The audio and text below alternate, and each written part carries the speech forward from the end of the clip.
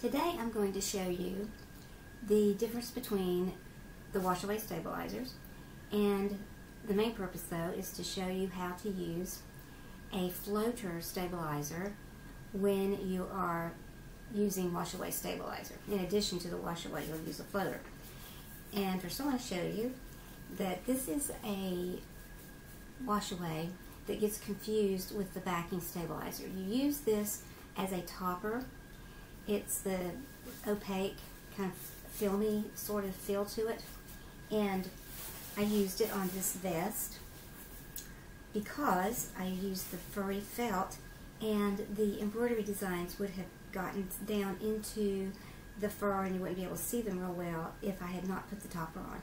You will do this whenever you have napped fabrics and whenever you have towels. You always want to have a topper and it's very easy to get off. And what you do, you just cut a piece the size of your embroidery design and you place it on your fabric before you do the embroidery. And after the embroidery is done, then you just tear it. It'll just tear right off very easily. And whatever little pieces are left, you can easily get off with just a damp cloth. So that is the topper.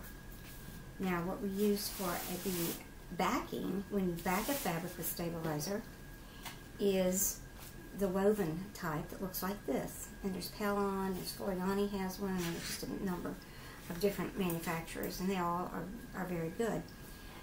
Now I have hooped a piece of washaway stabilizer in this hoop. I'm going to show you, you know, when you use the washaway and then you have to rinse it off, it can cause, it, you know, if you rinse it completely out, you can end up with this kind of a real soft, floppy um, mat or placemat or bookmark or whatever it is you're you're using it for.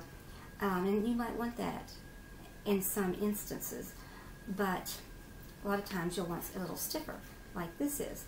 Now what I used to say was do not uh, put this, just do not submerge it into the water and soak it, so that if you do want a stiffer mat, just just run your water along the edges and then let that dry. Well, I have since decided the better the better way to do this is to and after your placement line has gone down, this is a coaster, after your placement line has gone down on the washaway stabilizer, and typically there's going to be some batting put on, most, most everything, you would put your batting on and at the same time take a piece of cutaway or tearaway stabilizer and just float it underneath the hoop. When that batting is tacked down, this cutaway or, or tearaway is also going to get tacked down on the back. Now what we do when we put our batting down, we make that tack line, tack down line just slightly inside the placement line. And the reason for that is so that when you trim that, that will give you some area to that will be uh, will have no batting on it and will make your edges much cleaner. And because there's a tendency to get the wispies from the batting into that edge and that eliminates that if you if we have it on the tack down on the inside. And then so you would trim that and you would also trim your floater on the back. So you would just turn it over and trim that in the same way that you did the batting on the front side. Now what that will do is that after the whole entire design has been stitched out, you can take your finished project and you can soak it in water and, and get all of that residue out of this wash away. But you'll have a stiffer mat, coaster, whatever it is you're doing, bookmark, and um, I think you'll be happier with it.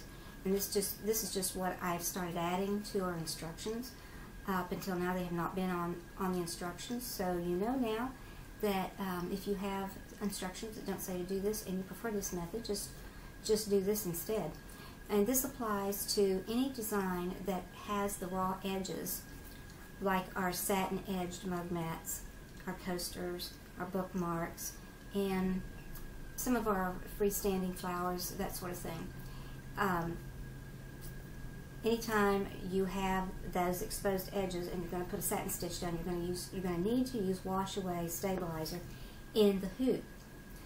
Otherwise, if you put if you take a if you hoop cutaway or tear away in the hoop and you stitch directly on that, when you remove that from the hoop, you have to cut around that stabilizer, and it is impossible not to have stabilizer showing on the edges, and that is just a pet peeve of mine. I can't stand that.